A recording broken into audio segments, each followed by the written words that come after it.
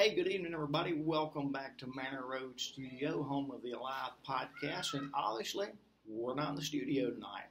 Matter of fact, we're in Orange Beach, Alabama, uh, sitting in a condo with the ocean to my back. Uh, so you may be able to hear the waves or even hear the kids playing.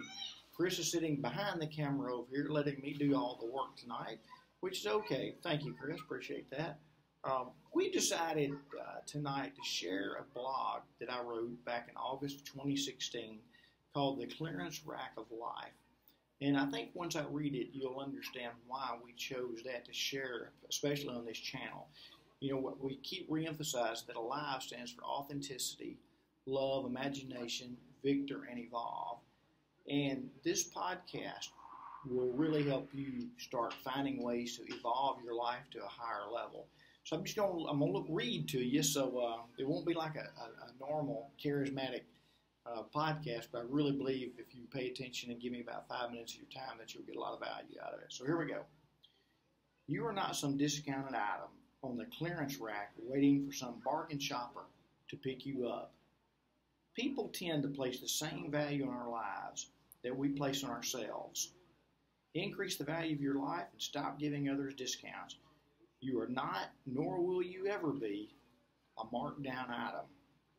Do you wonder how we ever get to the clearance rack anyway?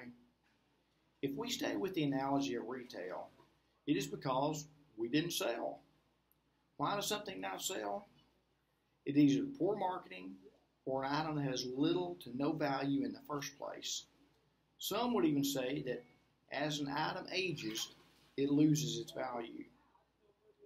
Considering we are God's greatest miracle, and that we are as unique as the snowflake, that, my friends, places us on the same playing field as a high end, one of a kind portrait worth millions. We're not some reprint manufactured in bulk to drive down the price. So this begs the question where and why does our value decrease anyway? Years of environmental conditioning has helped in driving down our price. It is my goal today to get you off the discount rack and into the highly respected, very rare, in demand, heavily guarded picture window part of the store. The only way we will ever appreciate the worth God placed in us from birth is when we start loving who we are and not agreeing or accepting the reality others have placed on us. Remember, in life, what we allow is what will continue. From this moment forward, we will never allow our lives to be on anyone's markdown rack again. Many well meaning family and friends work to lower our price. It isn't always malicious, it's their environmental conditioning too.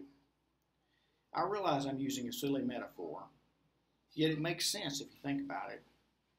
It is so easy to devalue our self worth. We do it, others do it, heck, life itself does it. As we grow older, we get the feeling that our lives slowly lose their value. The truth is, far from that picture I just painted. The world is a better place because you're in it. It is time you believe it. Just because others attempt to discredit your life and mark down your price does not mean it has to happen. It takes your permission to get moved to the sale rack. What makes you valuable? You do. The wonderful, amazing, beautiful, awesome person you see in the mirror is the one and only one that drives your final price. The same person that has all the dents, dings, wrinkles, and blemishes is the same person that is worth millions. Yes, your life has so much more value than you ever thought possible. You are not some cheap spin-off of someone else. You are you the rarest and most amazing person God ever created. Live your life as though you believe it. In order for your value to reach its maximum height, you must help others reach theirs. No longer will you devalue the lives of others. You will help them to get off the clearance rack as well. In closing, consider how you value or view a dirty homeless person walking the street somewhere in his or her journey through life, someone started marking down their price. Little by little, their value eroded, and now we, yes, you, view them as a human public nuisance. It is that thinking that also drives down your price. God needs us all to be an expression of love. We can change the world in which we live by simply changing the way we price our lives and those of whom we come in contact.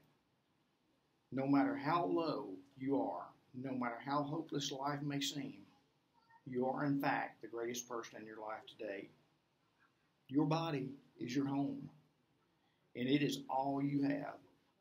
It has been through vicious storms, terrible droughts, horrific famines, yet it's still standing.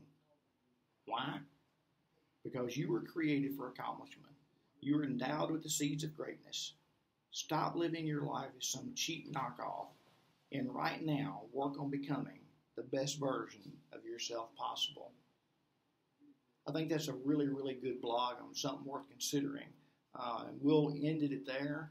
If you haven't subscribed to our channel, please do. It should be right below you. Uh, leave a comment, hit the like button, share it with your family and friends. Uh, find us on Facebook, Dale Childress, Manor Road Studio, Alive. We're everywhere. We want to hear from you, um, and we look forward to doing another one tomorrow night. We might do another one of the blogs that was written many years ago.